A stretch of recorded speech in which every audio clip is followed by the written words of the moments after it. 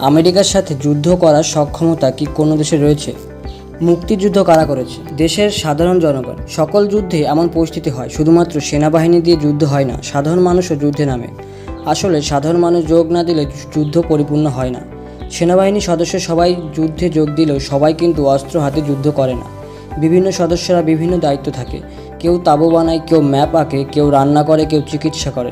এভাবে বিভিন্ন মানুষ বিভিন্ন কাজ করে। সবাইকে একসাথে নিয়েই সেনাবাহিনী। সাধারণ মানুষ যখন যুদ্ধে নেমে পড়ে, তখনও একই পদ্ধতি চলে। সবাই যুদ্ধে অংশ নেয় ঠিকই, তবে সবাই বন্দুক হাতে গোলাগুলি করে না। মুক্তিযুদ্ধের সময় তেমনই হয়েছে।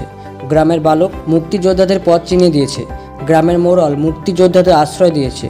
অমুক তাদের জন্য রান্না করেছে। গ্রামের ডাক্তার বিনা পয়সায় চিকিৎসা করেছে। মাঝি বিনা পয়সায় তাদেরকে নদীর পার করেছে। গ্রামের ভবঘুরে পাগল মিলিটারি আগমনের খবর এনেছে এভাবে অস্ত্র হাতে না নিয়েও। সবাই যুদ্ধে অংশ নিয়েছে।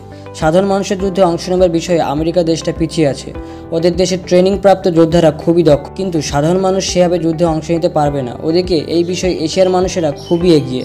এশিয়ার সাধারণ মানুষ যুদ্ধে অবদান রাখতে পারবে। সেটার বাস্তব উদাহরণ আমাদের মুক্তিযুদ্ধে দেখা গেছে। আমেরিকাতে এই জিনিসটা এখনও বাস্তবে দেখা যায়নি, কারণ সকল যুদ্ধ আমেরিকার বাইরে হয়। ওদের দেশে যুদ্ধ হলে দেখা যেত ওরা কতটা পারে। আমেরিকা প্রায় সকল যুদ্ধে জয়ী হয়ে বিশ্বের শীর্ষ অবস্থানে আছে।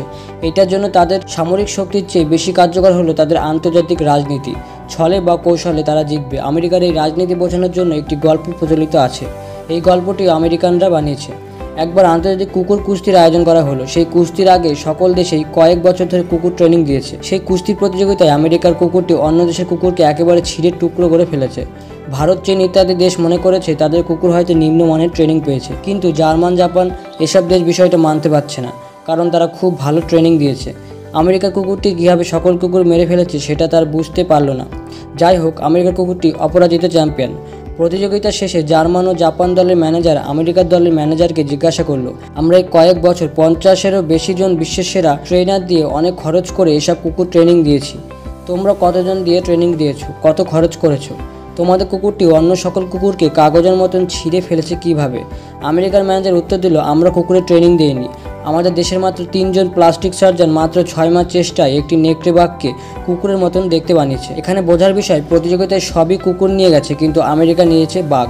ওরা জিতবে যুদ্ধে সব রকম রাজনীতি চলে। যার রাজনীতি যত শক্তিশালী, সে তত বেশি জেতে। সম্মুখ যুদ্ধ শুরু করলে আমেরিকা চীনের সাথে পারবে না, এমনকি ভারতের সাথেও পারবে না। কিন্তু আমেরিকার অসাধারণ রাজনীতির জন্য তারা বিশ্বের শীর্ষ অবস্থান দখল করে আছে। রাশিয়ার মতন এক শক্তিশালী দেশকে শুধুমাত্র রাজনীতি দিয়েই দুর্বল করে ফেলেছে।